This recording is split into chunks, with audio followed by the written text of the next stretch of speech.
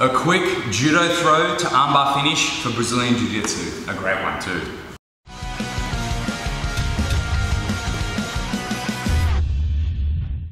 Hey guys, Coach Tom here. I'm here to talk about one of my favorite techniques. This technique was recently used by one of uh, students um, to medal in a, a, tournament we had and uh, it's a technique that I see used on my mats all the time. Uh, it's one of my favorite throws that leads into one of my favorite techniques, but we're really looking today and we're presuming that the throw fails, okay? So we're gonna go straight into the submission. I did this from the knees. I showed you guys this from the knees in a previous video and people messaged me like crazy asking for it from the feet. So here we have it. So I'm starting with my partner from my feet. So I'm just gonna get a basic grip, okay? There are two grips I have available for this sweep. I can get a sleeve and a far side collar, although there are risks of getting a, a, a I should say, a near side collar here. There are risks of getting this, so you're quite often better off getting this collar here okay? But it's up to you. As long as you act quickly, this one will work. Otherwise, this grip. So I've got a basic like judo grip here, and I'm now going to put my right foot behind my partner's leg.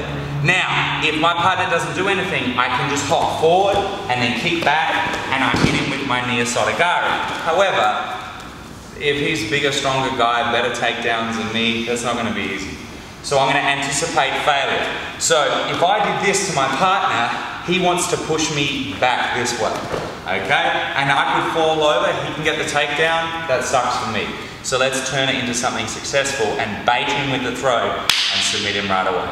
So I'm here, I'm gonna put my foot behind here, I hop hop, as soon as I feel him resist, I fall down right in front of him, like this. So my spine is running along this line and he's facing this way. And now, hanging off of him, I shoot my right shin up and I pump my hips up and I get the armbar here. And just finish, you'll be hanging off of them, so be very careful. It's a very easy one to get a break or a hyperextension. So let's have a look at this at real speed.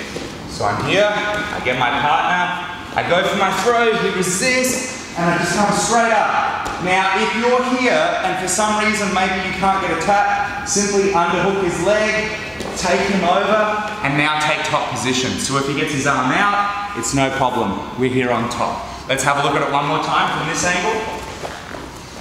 I get my partner from my near sotogari, come through, he resists, I fall and I hit. If I can't finish, underhook, take him over, and now I can finish the armbar from the top, or just get to a top position.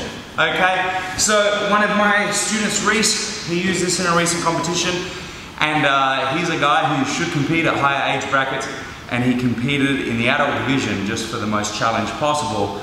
And uh, by the end of the day, all of those matches, I think he fought uh, maybe 10 times in the day. Uh, he was getting pretty tired. And not only did he get uh, his medal victory from this move, he also, fortunately, had a really short match. And that's the advantage of going for this kind of technique. You can turn a potentially five, 10 minute match into a 30 second match, which is just so valuable. Yeah, it's a cool submission, but it saves us a lot of energy, okay? And it is cool to do, let's face it. So there you go guys, the standing version of the Osotogari to armbar drill. One of my favorites, make it work. It's easier than you think. I'm Coach Tom, I'll see you next time.